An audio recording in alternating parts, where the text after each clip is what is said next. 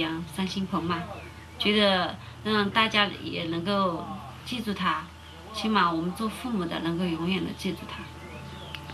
他是这种这这这种灾难的这种遇难者嘛，就是在这场灾难中失去了自己的生命。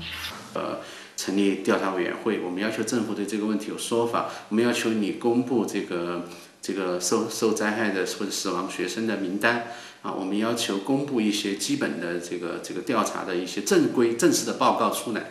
我们在这呃通过这些新闻的舆论的政治的这样的空间，把这个事情啊到一定的程度之后，在这个过程当中，可能你才能够发现了法律上的那个技术性的那个那个切入点。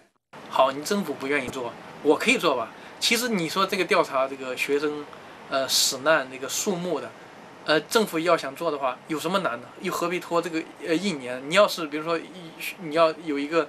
呃，有一个文件下来说清查这个没有交这个学费的学生，我相信一周你就可以查出来了，整个是一个四川省。那你那，你查那个就是开了学，开学之后有多少学生消失掉了，多少学生去其他地方了，你居然花一年你都不查不出一个准数来。那么像艾薇薇、谭卓人这样的公民，他们站起来说：“我帮你查行不行？我来自己查。”而且呢，我这个不是为为了你政府做这个事情，我是作为一个公民来实现我应该。做的一些责任，如果我现在不查，越往后拖，可能越难查。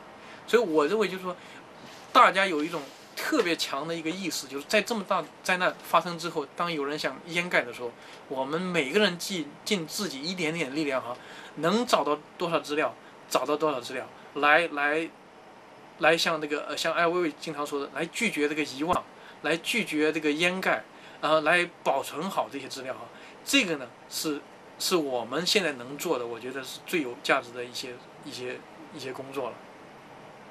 拍一下这这个东西，这是我们目目前做到过的。最初的时候，我们是我以为政府会提供这么一个名单，向政府去我们想要到这个名单，但是没想到是比我们预想的是要非常的困难，就是我们没有办法通过一个官方的渠道去取得这么一个我我我是觉得每个公民都应该了解的一个真相。而且也是正是因为我们在做这件事情的过程中遇到的困难，让我们更加的想得到这个真相。为什么要得到这个真相？就是对生命的一个尊重。喂，你好，那个我想那个找一下艾维莱先生那个。啊，他他现在不在。你你是哪位啊？我我我是礼县教育局的。啊？我是礼县教育局的。啊，李县教育局的是，你是找艾薇薇是吧？啊，艾薇薇，对对对。啊啊啊！他他是干干什么的？啊，他是一个艺术家。他是一个艺术家是吧？嗯嗯嗯。他主要从事什么工作呢？啊，做那个现代艺术。做现代艺术是吧？嗯嗯嗯。他做现代艺术，他提出的什么一些什么数据的公开是什么意思？他？嗯，他想了解一下这些情况，作为一个公民。嗯，作为一个一个公民，可以说向我们单位提出这样的要求，可能不大合合理吧？你嗯，这个根据这个政府信息公开条例，每个公民都有这个权利。对，是每个每一个公民都都都有都有知情权。嗯嗯但是有一点，他是不是影响到我们正常工作了？怎么会影响正常工作呢？我们做点实事。不要搞你是李县教育局的是吧？对，不要搞那个误区的是吧？我我们问的就是关于就是正宗。如果有时间你过来，我们没有时间陪你们玩，是吧？我们不是吧？我们是很说句老实话，也没有那么多精力，因为我们灾后重建的任务三年要在一年之内完成。嗯，那个不是像你们搞的什么那个文字游戏。嗯，我们非常认真的提了很多问题。所以我们我们需要。我们因为因为我们很关心你们那个第一就是坍塌的校舍。我想问一下，证实一下，究竟是想想干什么？有什么意图是吧？是间谍吗？还是想干什么吗？我就问你，这些校舍是秘密吗？这些我就我就只只想问你一个问题。嗯。你是不是中国人啊？你有没有同情心啊？你还向着我们伤伤感撒盐吗？你还在向着小王是那个什么胸口捅什么刀子吗？这个跟信息公开有什么关系呀？不要说了。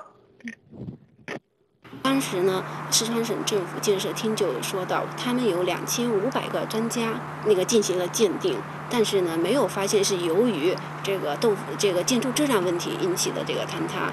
那么我们就提出来，希望他能够公开这两千五百个专家的名字、单位。那么这两千五百个专家到底鉴定了哪些坍塌的学校？那么他提到他是抽样鉴定，那么他抽中了哪个学校？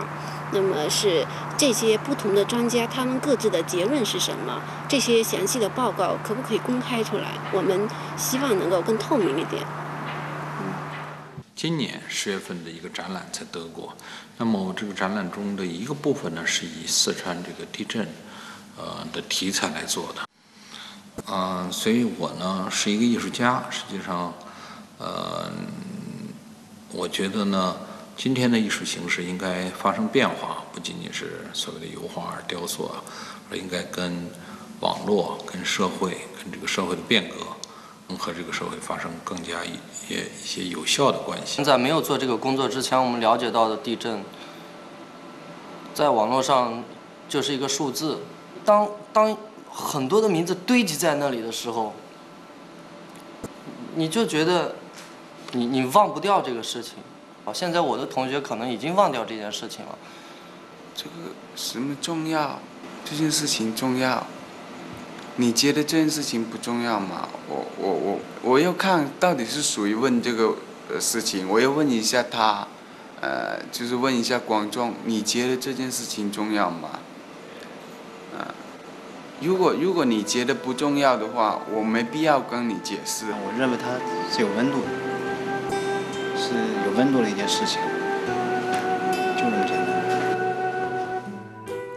公民调查员被打压的结果，反而激起了更多中国知识分子对维护人民基本权益的要求。在网络上可以看到有许多公开支持的文章。